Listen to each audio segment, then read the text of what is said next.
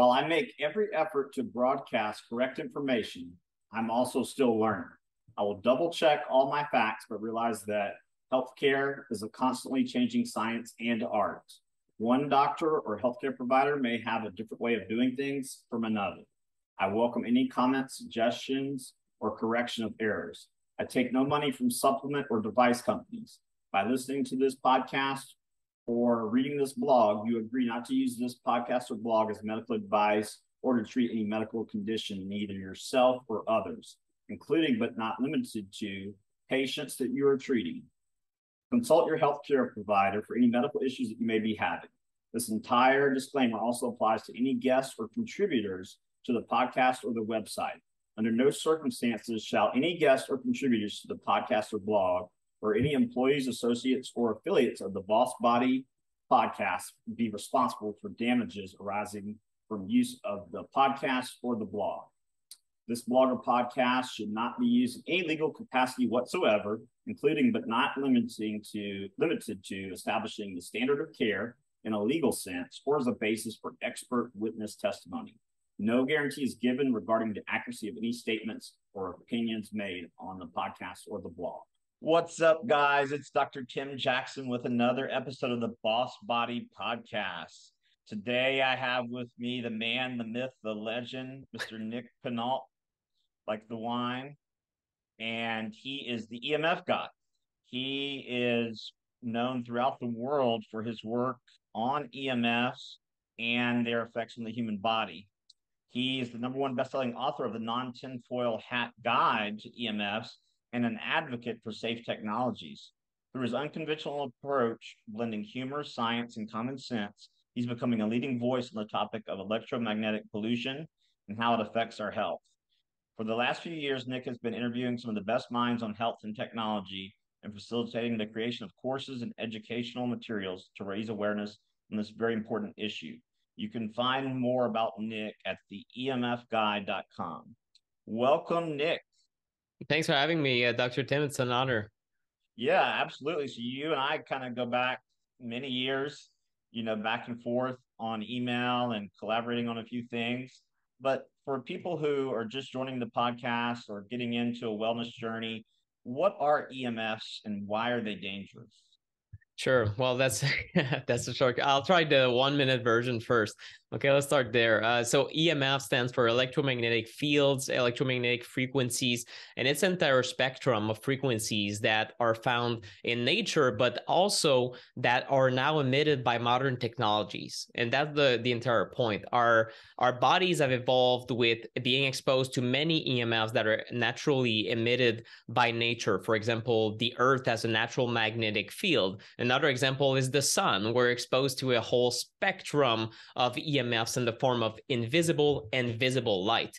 What what happened in and that made me study that topic of EMFs is not the natural EMFs, but is the the process, the artificial EMFs that are emitted by modern technology. For example, your phone, uh, a tablet, a cell phone tower, a smart meter, and these are frequencies that are invisible. Most people don't feel them. You cannot hear them at least most people do not hear them. So for most people it's a reality that is a little bit hidden from their senses. Uh, they use their gadgets every day. They use wi-fi. We're kind of exposed to all of this but they don't really consider that there could be health impacts. And the the one link that has been in, uh, let's say, very controversial since the advent of the cell phone is using a cell phone on the head, and maybe the fact that it's gonna cause brain cancer or increase your risks of developing brain cancer.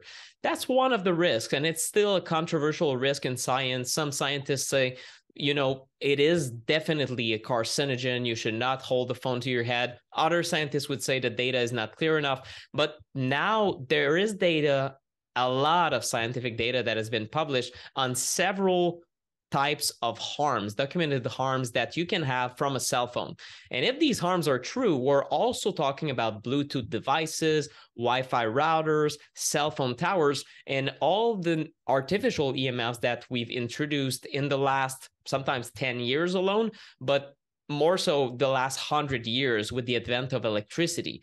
Uh, one of them that is I think now nowadays, especially in the last few months, as we're recording this, has been uh, highlighted by very prestigious scientists such as Dr. Uh, Andrew uh, Huberman, who's from Stanford. He's a very known um, uh, science, scientist focused on the brain, but also an expert on hormones. And he stated that, you know, it is clear for him, the data is very clear that if you keep a phone in your pocket, which is again something that half of men do in society, at least half, if not more, every day for the entire lifespan at this point, right? So that's something very common at levels of exposure that are considered safe by our regulatory agencies. He says that the data is very clear that this will harm your fertility and very clear that this will reduce your testosterone as if we needed one more thing that harms our testosterone at this point, right? We know that it's like the processed foods, the modern stressors, uh, the endocrine disruptor disruptors uh, in the form of like BPA and other plastics. Well, the the the kicker is your phone is also an endocrine disruptor, and and if only if we stop there, it would be enough to change the way we use technology and to uh, maybe change the safety limits for sure but right now what you can do listening to that would be to change your habits around technology. For example not keep a phone in your pocket as much. Yeah i, I just saw this at my gym the other day. Uh, a few people had pockets that you know are specifically dev- designed for their cell phones.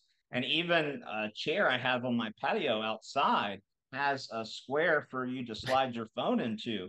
So, how do we mitigate this bombardment of non native EMFs? And I want to kind of operationally define non native EMFs because if I go outside and I'm barefoot and I walk on the grass, that's the Schumann resonance. That's a good EMF, correct?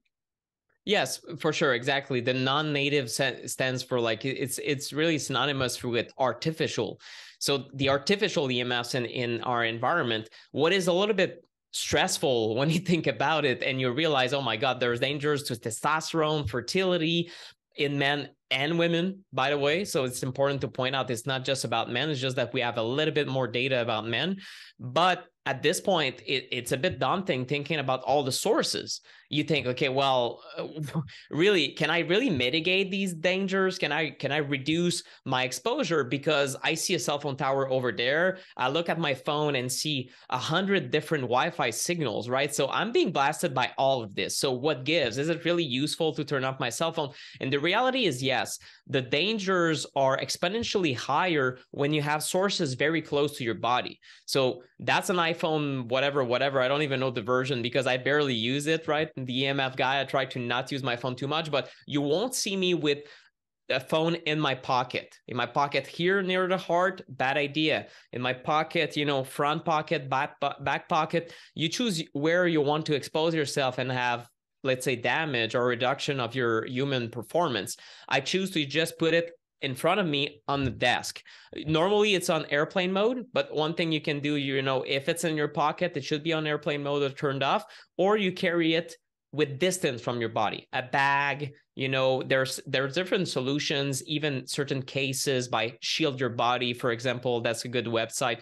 But there are certain solutions that you can use to kind of mitigate these dangers and that's just from the phone. But there are I think that you should start with devices that you have control over. a lot of people they get into EMFs, they get on forums or Facebook groups and they say, oh my God, I'm exposed by a cell phone tower and this and that. And yes, there are also specific research around cell phone towers and how people who live closer to these towers uh, might have reduced levels of antioxidants or let's say an overall higher mortality rate and, and more symptoms from anything. So there's researchers who argue you know just living near a cell phone tower is a danger in itself.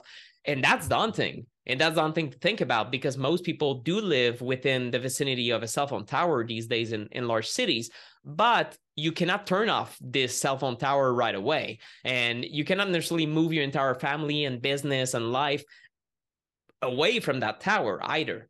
So what you can do is mitigate the machines, the gadgets that you have control over. So one of the messages that I've been spreading for years is, well, okay, well, if that's your that's your low hanging fruit on an EMF standpoint, how can you change your cell phone habits, your tablet habits, your how you handle your laptop, for example? So starting there is a great way to mitigate the risks, at least start mitigating the risk, right? Because there's always improvements to be made later, but without necessarily changing where you live. You just start ameliorating your environment. And part of it starts with the machine that you decide to put in your pocket or on your body, you know?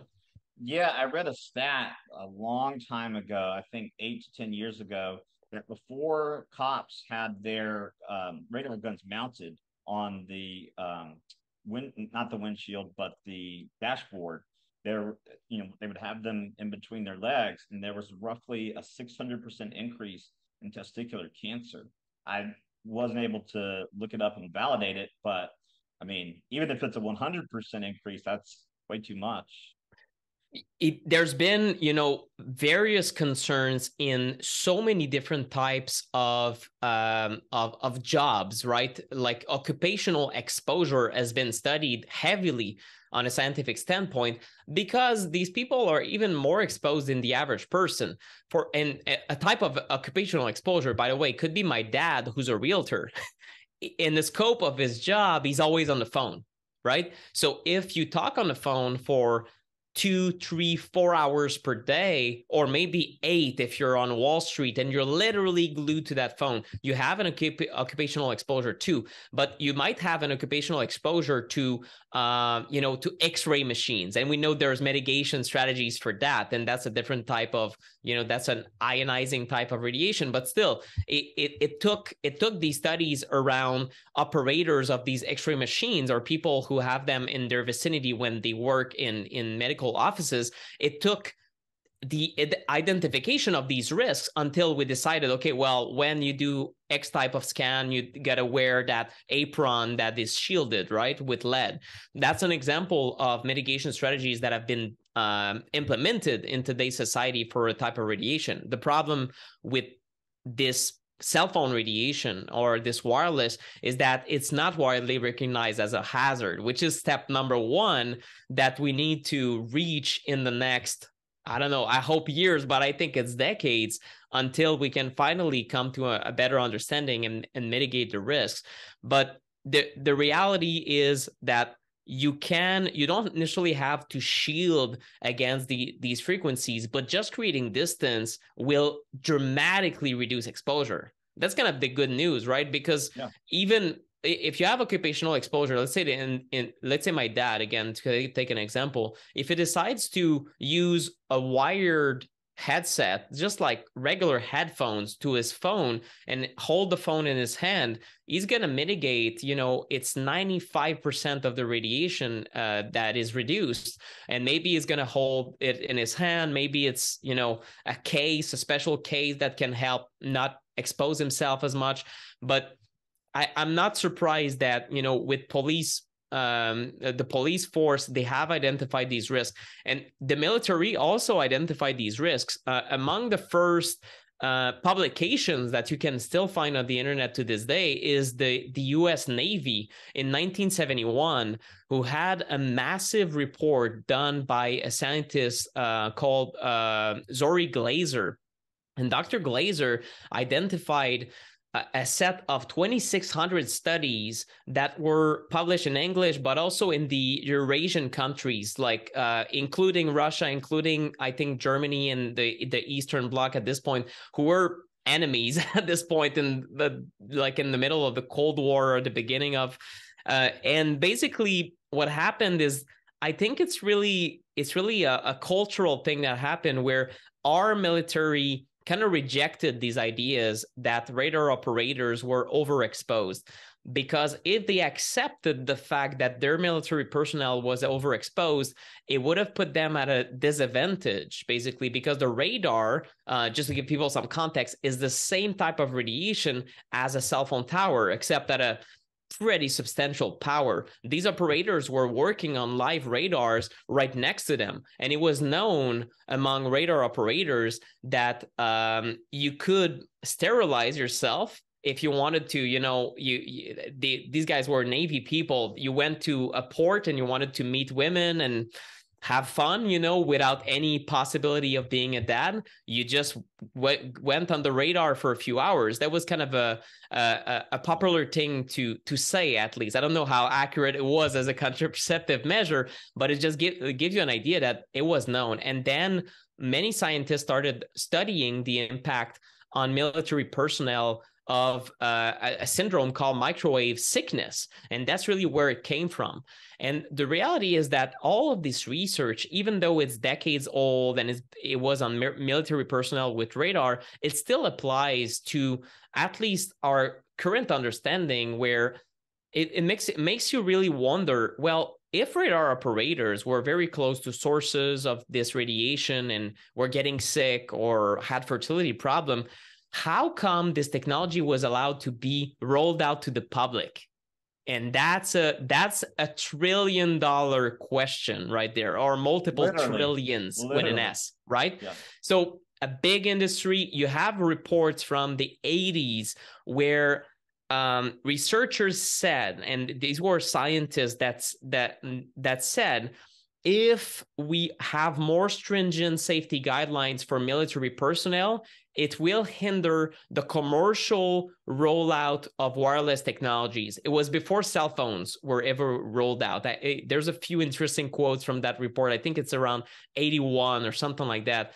Before it was, you know, commercially viable to roll out cell phones, they knew that it would basically they would have to roll out cell phone towers that are very far away from people it would it would have been a, a technological headache to try to roll this out so the industry decided you know what we're going to do everything we can to deny these health effects and to have these EMF safety guidelines that as that are as permissive as possible and these are the safety guidelines in Canada the USA, Australia, and a few, and maybe the UK. And you have other countries that are a little bit or way more stringent, but mostly the safety guidelines are not safe all around the world at the moment. Um, if if you really don't want health impacts from that technology. Right. Yeah, I tell people all the time, you know, whether it's a patient, a client, or a colleague, okay, let's say that I'm wrong then all you've done is become more present for your family, your friends, yeah. your colleagues. If they're wrong though, and non-native EMFs are unsafe, then there are a lot of repercussions, correct? Yes, well, and and that's I think I think that's the entire right there is the entire point of why I do this. It it it frustrated me when I started my own uh, journey in health uh, and understanding you know that we are exposed to certain things that in 50 years from now will be regarded as very dangerous. It frustrated me when i looked at the history of uh, leaded gasoline or asbestos or even smoking which is a classic. When you look at the early warnings that were emitted by scientists around trans fats in in the 1950s and you realize that it took until the you know the the 2010s for trans fats to be banned. And even to this day there's still trace amounts because of the permissive guidelines and and tricks that they do on the label. Eh, you realize my god this is a direct harm to the public that could have been could have been prevented if only we said, you know what, it looks like the research is showing something dangerous. Let's switch ingredients and let's, you know, I don't know, maybe let's subsidize this entire program as uh, maybe the like the governments could have helped the food industry make that switch. It's that if that's too much hassle for them or too much of an investment where no, no, we cannot change how we do the manufacturing process. And even that is debatable. But it would have prevented I think it's the tens, if not hundreds of thousands of deaths directly from heart attacks related to trans fats. There, there are good studies that look at the entire history of trans fats. And when I look at that, I'm just, I just become a bit sad, uh, sad because I tell myself, okay, well, how can we do something smarter now because we have the science and we screwed up big time on many, many environmental toxins in the past.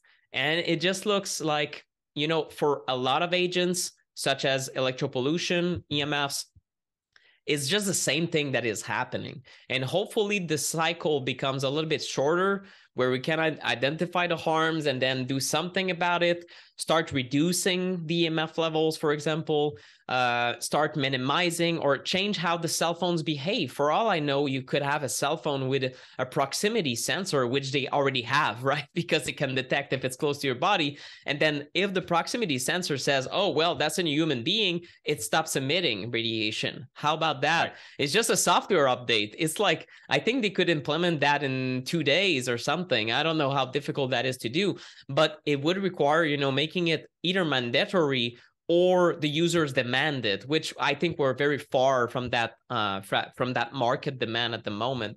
But yes, these dangers are here right now, or at least that's that's what I argue. If you're not sure, there's not a lot of harm in reducing levels. It's a change right. of habits, and like you said, exactly. Some people that uh, start using these habits. Oh, my phone is more on airplane mode. You know, most of the time well, I'm not distracted as I used to, and I'm not on social media as much. Most people feel healthier when they start having a relationship that is a prudent avoidance of technology you know or or right. minimization not initially avoidance but most people don't regret you know they never go back like when they start realizing i was waiting wasting all this time maybe arguing on twitter i did mm-hmm. that during the pandemic sorry I um, I must admit. But you know, whether it's that or Instagram or watching memes and funny videos, or it it is it is a kind of a waste of time for a lot of people or most people have a hard time regulating themselves and having you know okay i'm just going to take 20 minutes. They look oh no an hour flew by. Oh now i'm late on my work you know? So it it is a big distraction. So that's another aspect to technology and I think EMF awareness also comes with the awareness that we need to develop a more mindful approach to using tech gadgets, um, and and that's gonna serve us well. It's gonna make us healthier in the in the short and long term.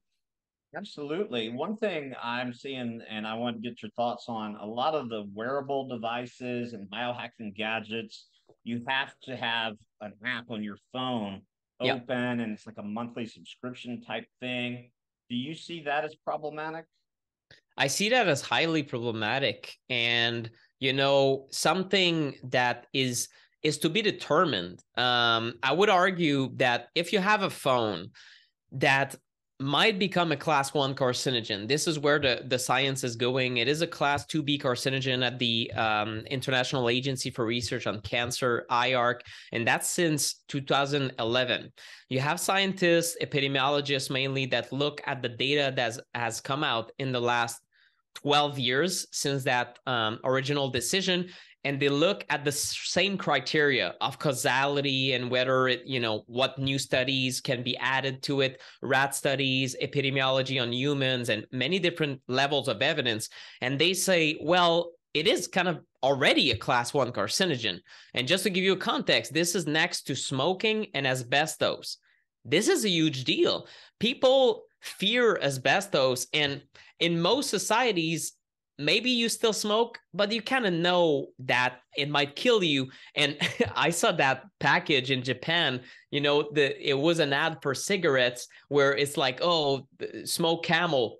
And a big thing in English, smoking will kill you. I'm like, oh my God, okay, on the ad. So it was uh, again. So that means the Japanese government said, okay, well, we're just gonna put that on the packaging everywhere, and sometimes with like like hideous images of tumors of like oh, wow. pulmonary t- tumors and things like that in Quebec. We have that in Canada. So you know we're very far. Cell phones are not marketed that way. Imagine that. Imagine that it's a new Samsung 25 cell phones will kill you. My god like how would that change consumer behavior right? So it, it, it's just how it is. So long story short let's take that research on cell phones and now let's say it's not a cell phone. Instead, I'm going to put a Bluetooth earpiece deeper into the brain. So the power levels will be smaller, arguably. Yeah, that's true. But the power levels are not the only determinant to that that that make it dangerous or not. Proximity is important. It, it, yeah, so proximity will lead to an intensity of you know how much is absorbed into the brain and when you talk on a phone if you have a smaller skull i'm five four, so you know i'm not even the average model that they use for to look at how much the cell phone penetrates inside the skull. It was a six foot two man which is nonsense because most people don't have that kind of head.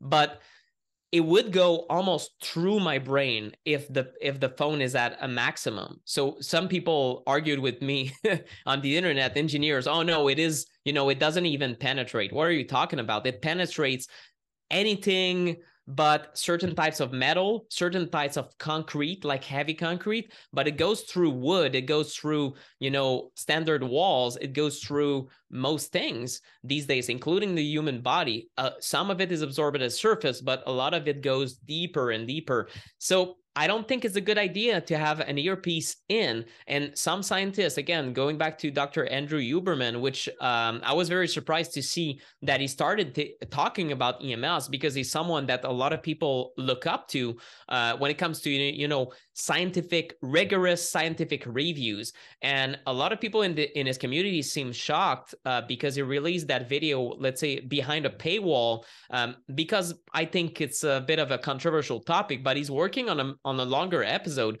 and he did say that you know one change that I did to my life is that I took my Bluetooth uh, earpieces and I you know I trashed them like I don't use them anymore.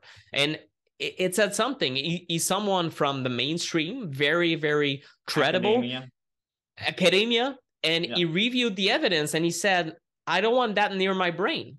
I, I do not think that I'll regret tossing them away right? right. And and that's something very inconvenient because now it's now a lot of manufacturers are watching the podcast and saying uh-oh we've just developed this you know it, it cost us 2 million to develop this biohacking tool but it's bluetooth only. Maybe we should have added an option to turn off the bluetooth but we didn't. So now we're stuck with all these, these devices. And what do we say to our community? That we've just manufactured 2 million uh, worth of devices that are dangerous or that are impairing your brain when you're trying to biohack your brain. So it's kind of it, it's it's it's a very inconvenient situation for a lot of manufacturers. And um, some manufacturers understand these risks and they give at least options such as the Oura ring for example uh, can be always put in airplane mode and i still wear it and i just you know connect it to to the little wireless charging base once per day open the Bluetooth, it dumps the data to my phone, and then I'm done. So it can be, let's say, 99.99% free of EMF radiation of, of the wireless type. So that's good. Um, I have a BrainTap system, for example. When you plug the wire in, it does tap the, the Bluetooth. Uh, so you have an, a wired option, which I like. Um, I really applaud them for that. So it was a really a conscious choice to add this wire in and to still to this day they're still manufacturing it i think with the wire but most companies are ditching the wires. Even you know i tried to find these bose uh, headphones that are the, the wired types the qc 35 or i don't even remember the, the code exactly. It they cannot be found. They all switched to bluetooth recently. So bose for me is it used to be my favorite company for for these types of wired earbuds. And now i'm like i'm very frustrated with them. But maybe maybe just maybe consumer demand will be high enough in the future to bring back the old to bring back the wire because of those concerns. And i'm crossing fingers that it will be true. It will be a market for people concerned with emf radiation right? Oh that's just because you're concerned. I just purchased uh external mouse and it was really hard to find. I think there was like two of them in the entire store. yeah. You know, there's like 80 um, mice to choose from, so to speak. And, you know, there's two ones with that you can actually physically plug in. The rest employed Bluetooth. Yes. But um, it, it worked out well because it was the cheapest one also.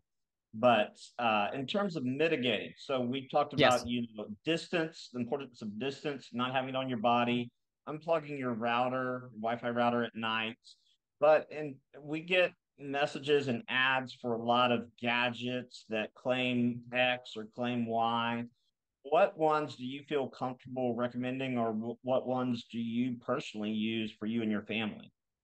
Yeah, you know if if if someone it really depends on how people are using technology. I don't use for example an emf blocking case or something a belt hoister that would shield me from the radiation mostly because in the scope of my work i'm um, an international traveler and no one calls me so that that's good for me i don't have that distraction but if you're in a situation where you need to not only keep your cell phone open but you're always on the go so maybe you know you're a realtor someone in finance. Uh, uh there's so many situations where people have to carry a phone.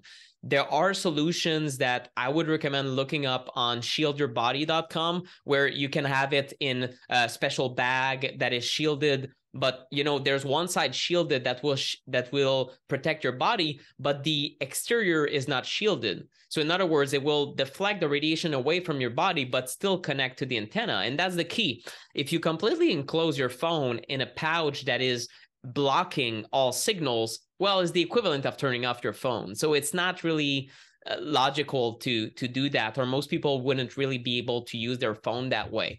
And you do not want in fact uh, a big problem with poorly conceived emf blocking cases is that if you block the antenna and make it more difficult for your phone to connect to a cell phone tower, you would in fact increase the radiation that your phone emits because naturally the software will ramp up the radiation to connect harder to the tower. So it will increase power levels.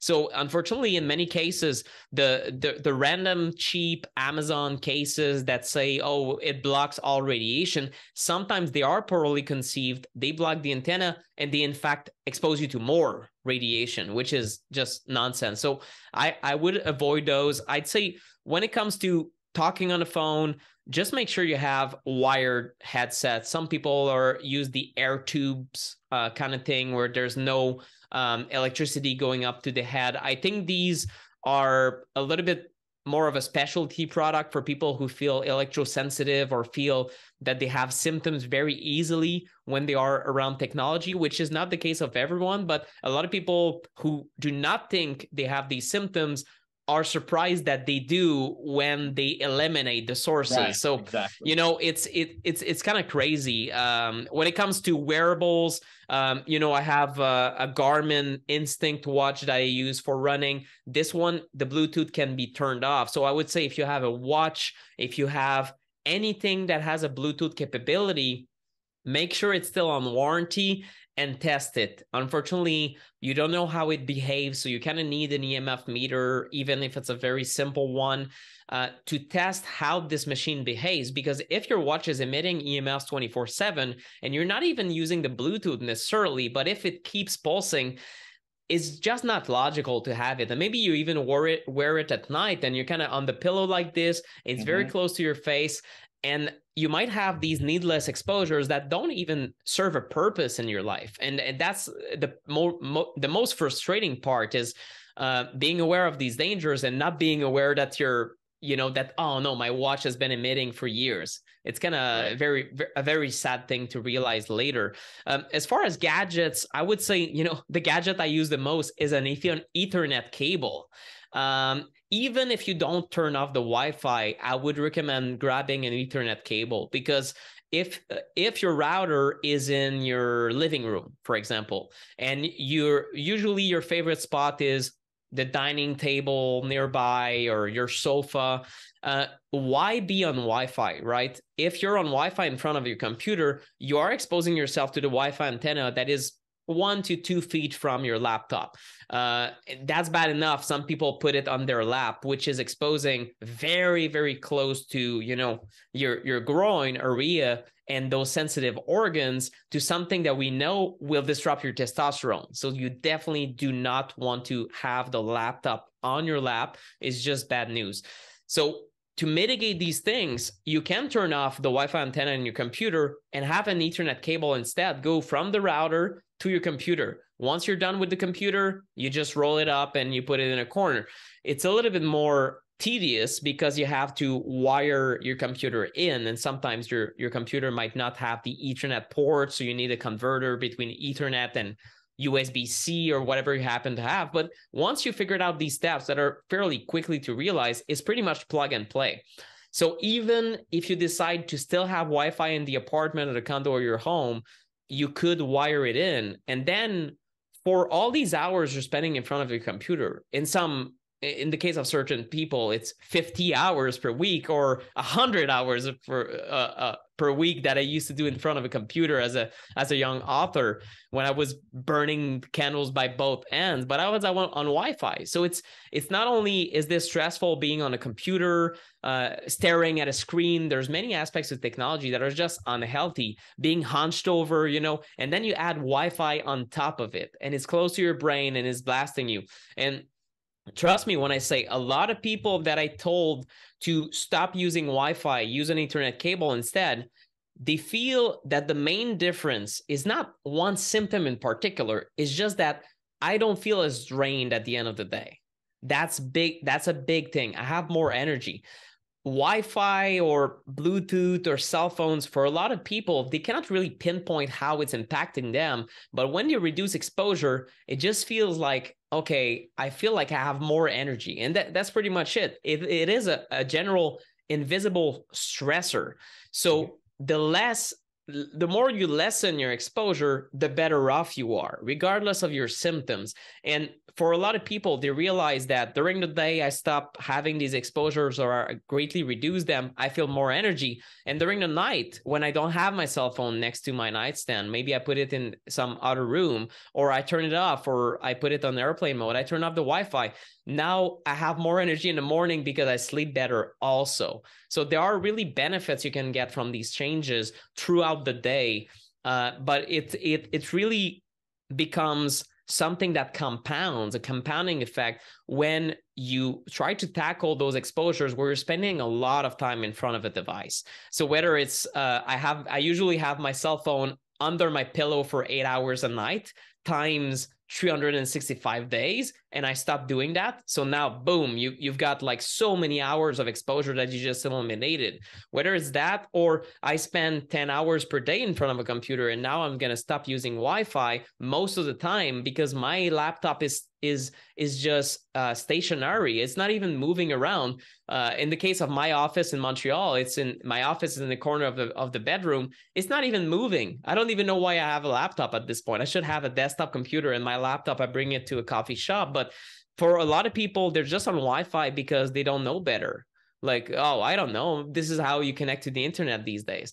Yeah but you know a few years ago we used to be a cable and it's still valid because now you can turn off the signal and you can greatly reduce the impact.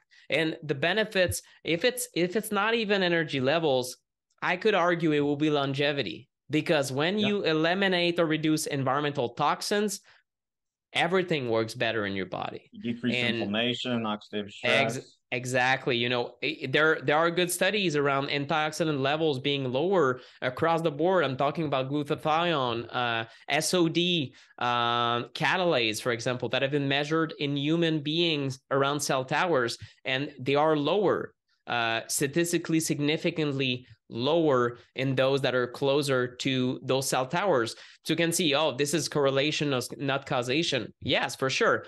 But it is logical knowing the mechanisms around how EMFs impact us, which is oxidative stress, leading to us overusing these resources to repair ourselves.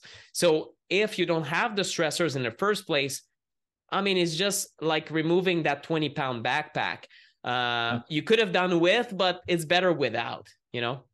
And I've read studies where, you know, they uh, took subjects, they had them eat a certain food in a high EMF environment and measured their blood glucose like an hour later. Then they waited a few days, same food, same subject, same time of day in a low EMF environment. And the people who were, when they ate the food in the high EMF environment, their blood sugar was significantly higher. Uh, you gotta send me this one in particular, but there's yeah, this is a link that that I've heard, and I remember um, there was a prominent scientist, uh, Nora Volkow, PhD, who did uh, some studies where she found that cell phone radiation uh, increased blood sugar uh, in the brain, if I recall correctly, and it was very, very concerning. I don't know exactly what happened with that researcher afterwards. I think she probably much maybe she abandoned that line of research. And it, it is something to to to say that is very important for especially for people very scientifically minded listening to this, is that when you study EMFs, it is kind of one of these untouchable topics where if you have good funding from the NIH or whatever, whatever, if you study EMFs and find effects, generally speaking, the funding runs dry. So there's a lot of industry pressure to stop funding these scientists. It's been the case for decades. And now in the US, as we're speaking, there's barely, if um, I don't even know if there's one dollar being invested in research towards EMF health effects. Most of the research that is coming out that is significant is from Israel, Spain, there's a few researchers uh, still in the US and in the UK, but they are, you know, they are self-funded by philanthropy, by the community, by peers. It, it, it is maddening that we don't have like it is such a big topic. The implications are just impossible to fathom if we get this wrong. And yet the industry and governments alike, because they're kind of friends in, right. in you know the the the regulatory capture is just disgusting uh, have been doing everything they can to stop studying these effects. So when you talk about blood glucose, that's another angle that needs to be elucidated. And what is bizarre to me and just it is just such a very weird state of affairs where we are right now because you have the medical community that some people are starting to realize there might be health effects and then they might read okay well does it mean that it can impair you know proper blood glucose regulation for my patients that might be pre-diabetic or just for overall health. Like everyone wants you know a more stable blood sugar. That's kind of a buzzword these days. So what are the implications though if we start using a continuous blood glucose monitor that is in itself bluetooth? Oh my god. Well i don't know what to tell you but in sleep research is the same problem. I've been talking to one sleep researcher told me I don't really believe EMFs can uh, impact sleep. All right. But the reality is, I don't see studies done.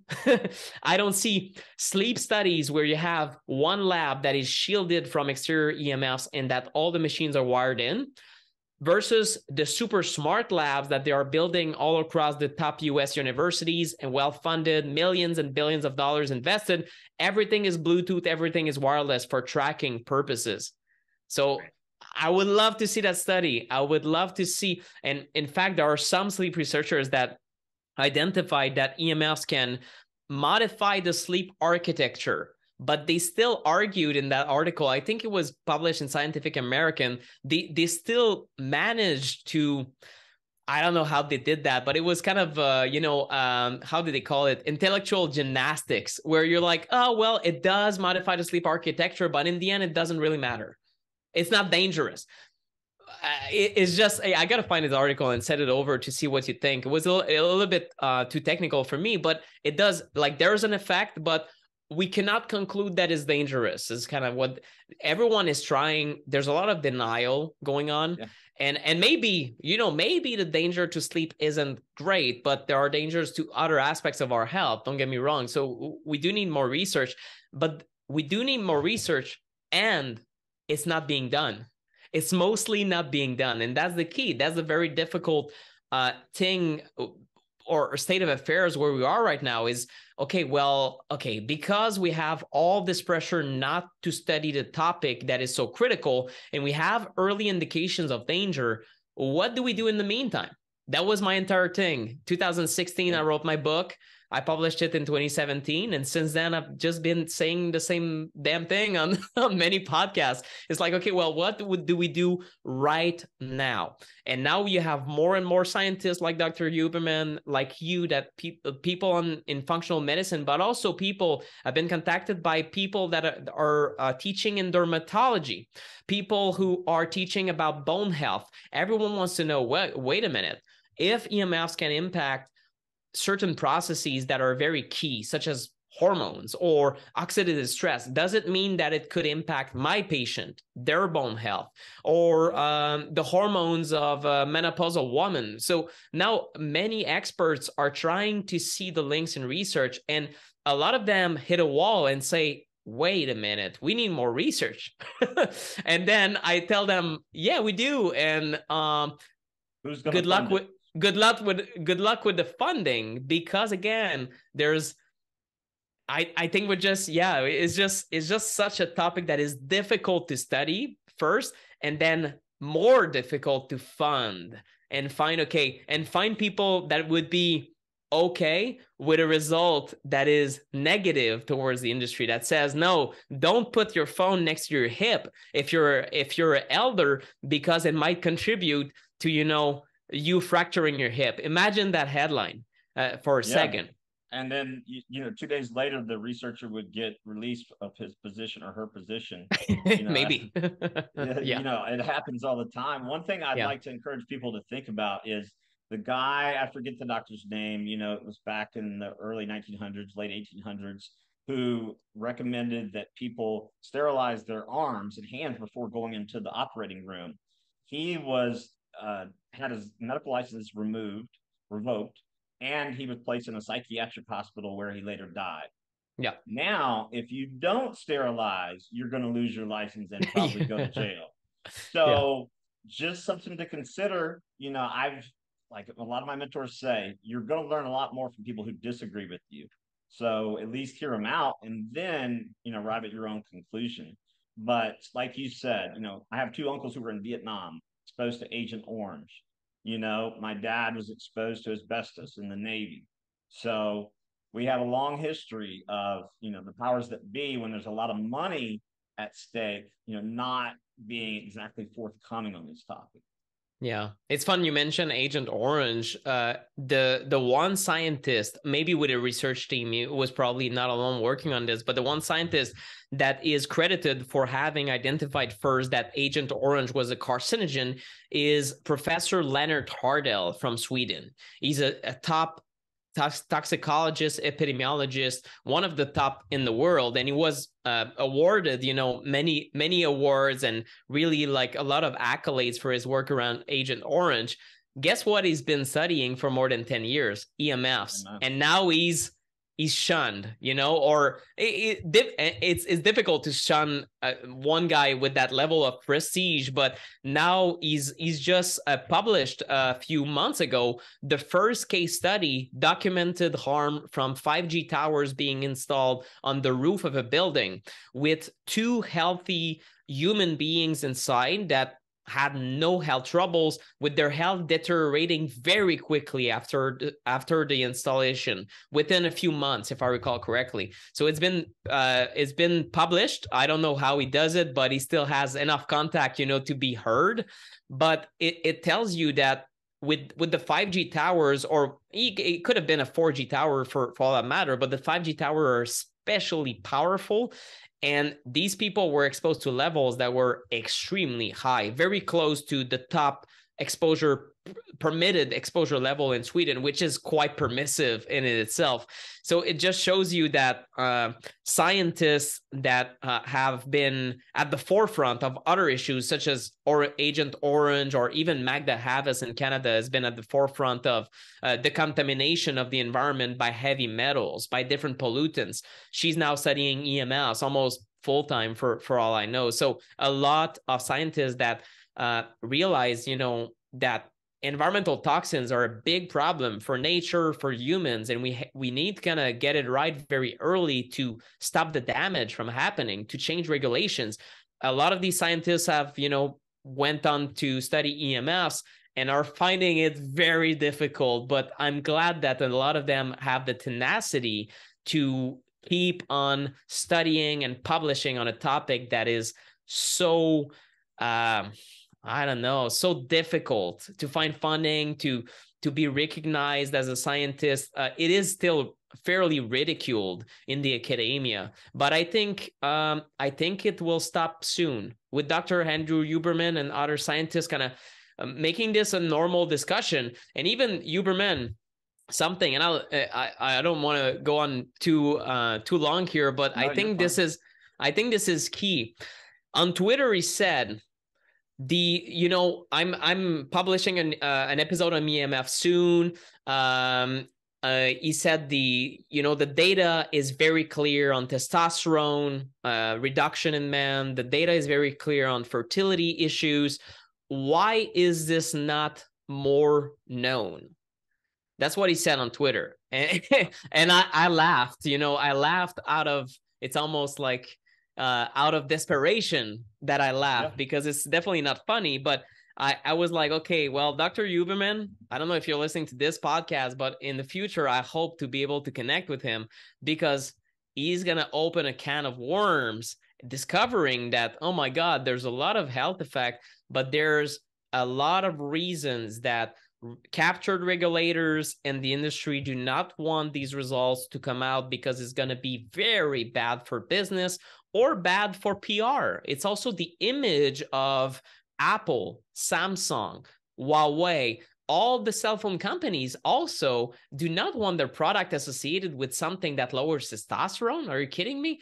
it's at the moment, it's associated with fun, connectivity, apps, gaming, social media, cool, young, sexy people. So, you know, it's it's such a cool product, the smartphone. If I tell you you put it in your pocket and it lowers your testosterone, uh, well, it looks bad. It's bad for business. So yeah, it's gonna open a whole can of worms. I think a lot of people in 2023 and beyond, I, I really start seeing a trend where a lot of scientists and medical doctors that used to think that this this entire topic is completely tinfoil hatter fantasy. They're gonna come around and they're gonna have a big shock personally and it's gonna shock their community equally. But this is coming. This is coming very soon i think because i really see um, people that are more mainstream than usual coming out doing their their emf coming out in in a sense it, it, it's unfortunate when there's you know big money behind these topics that oftentimes the study outcomes are predetermined in many cases. Yeah. And yeah. if it doesn't agree with your, you know, uh, predetermined outcome, it's kind of, you know, sw- swept under the rug, so to speak. What's 100%. one thing that you know today that you wish you would have known 10 years ago? Uh, you cannot save the world in a year. Yeah, Amen that's that. For me, it's uh, it's been a big, big, big struggle finding my rhythm as an activist because in the end, sometimes I try not to be an activist, like, oh no, I'm just publishing information. Still, I just come back to the fact that my real passion lies in changing things. I'm I, I have to be a little bit angry, but not all the time, which is a fine line. You know, you can, if you fight again Monsanto and you say, well, they're spraying all this stuff around and that's unacceptable. And now it's Bayer, that's the enemy. And it, that's okay to think that, but there's also a life to live where you're going to be happy or else you're going to sacrifice yourself maybe for a cause that is a lost cause i don't know if it, you know the, how how the emf um, uh, talk is going to change uh, in in the next decades. And I think that my individual um, level of satisfaction with my life was a little bit too attached to well this this has to change but it's going to take it, it is you know uh a boat that is quite hard to steer. That's the entire societal reality where we are addicted to devices is going to have to slightly change towards like safer machines, safer towers. It's going to take a long time. And I've come to accept that. But 10 years ago, I was, uh, I think I was very hungry with you know the the the youth energy and when i when i met you to work on my health it was years and years after i literally burnt out and i had the adrenal hormones including you know testosterone and when i did did my salivary uh, cortisol rhythm and whatnot it was the equivalent of a 75 years old i was 26 yeah. so that's what you get when you are so scared of of how toxic the world has become or how daunting a topic is that you're going to kill yourself trying to change it that's unsustainable um, I, w- I wish I would have known that to kind of skip a few years of uh, struggling with my health big time. And then if you struggle with your physical health, your mental health is also struggling. So just realizing that you're burning yourself out is a difficult thing to do when you're always brain fogged and things like that. So, um, you know, what changed for me is when we started working together, I had that in in September, we started working together in January. And then in September, nine months later, I had my first few days in a row without brain fog. And I recall it very clearly. It, I used to be brain fogged all the time. it's tough. It's tough to be there and to be reasonable and to be happy in that state. So don't burn yourself out. If you're an activist, that's fine. But balanced activism, I guess, is where, you know, uh, sustainable. It has to be sustainable. It has to be something you can sustain for the rest of your life and you won't regret it. That's just really like with detoxification, right? It's got to be same thing. Same thing. Yeah. Awesome. Well, Nick, thank you so much for being here. We know you're a super busy guy. Congrats on your recent summit. And thank you. We're going to post all the links to your social media and website, and hopefully we can have you back again next year. Sounds good. We'll be happy to. Thanks, Nick.